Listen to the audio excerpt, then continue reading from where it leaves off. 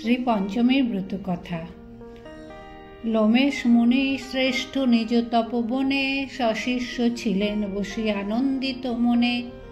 মুনিবর পৌলস্ত আসিয়া সেই স্থানে সম্ভাসিয়া মুনিবরে কহেন যাতনে।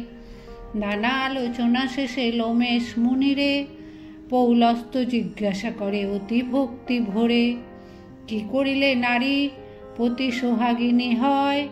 তাহার বৃত্তান্ত ঋষি কহ, সমুদয়। লোমস কহিল, তবে সুনমতিমান তাহার বৃত্তান্ত কথা করিব বর্ণন। পরম পবিত্র কথা অতি গুহ্য হয়, শ্রবণ করিলে ইহা সর্বপাপ ক্ষয়।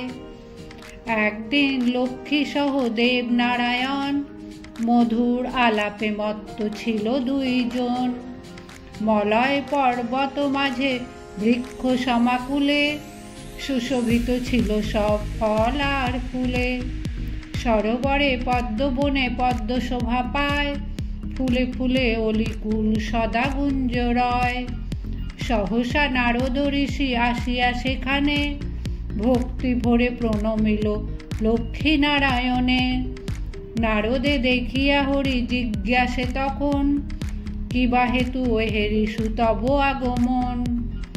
নারদ বিনয়ে কহে, দেব জনার্দনে, গিয়াছিনু ওহে প্রভু তীর্থ পর্যটনে।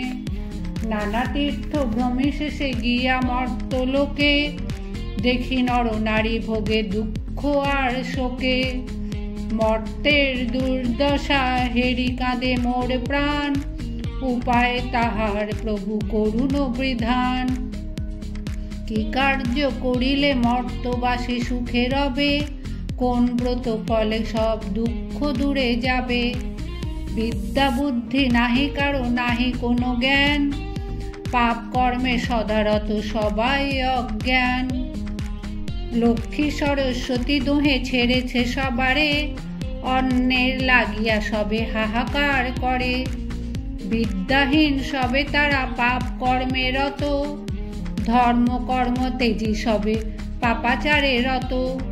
কি কার্য করিলে প্রভু সবে শান্তি পায়? তাহার উপায় প্রভু বলুন আমায়। লক্ষ্মী দেবী বলে, শুনো হে ঋষিবর, মহাপুণ্য ব্রত আছে সংসার ভিতর। পূর্বে ইহা করেছিল দেব কন্যাগণ, সে ব্রত করিলে শান্তি পাবে নরগণ।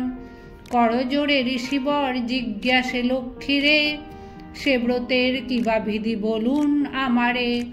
লক্ষ্মী বলে, মন দিয়া শুনো তপধন, ব্রতের বিধান আমি করিব বর্ণন। মাঘ মাসে শুক্লপক্ষে পঞ্চমী তিথিতে পালন করিবে ব্রত পরম ভক্তিতে। লক্ষ্মী আর সরস্বতী করিবে অর্জন লেখনীয় মৎস্যাধার করিবে স্থাপন, ফলমূল, নৈবদ্যাদি সাধ্য উপচারে, যতনে করিবে পূজা বাণী কমলারে।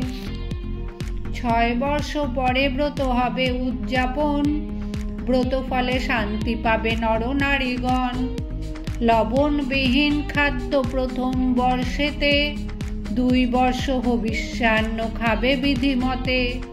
এক বর্ষ ফল মূল করিবে আহার, এক বর্ষ উপবাস বিধান ইহার। শেষ বর্ষে যথারীতি হবে উদযাপন, ইহাতে মনের আশা হইবে পূরণ।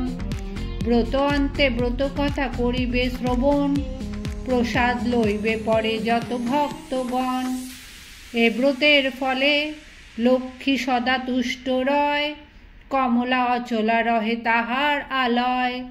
বিদ্যার্থীর বিদ্যা হয়, ধনার্থীর ধন। ধন ঐশ্বর্যে পূর্ণ হয়, তাহার ভবন।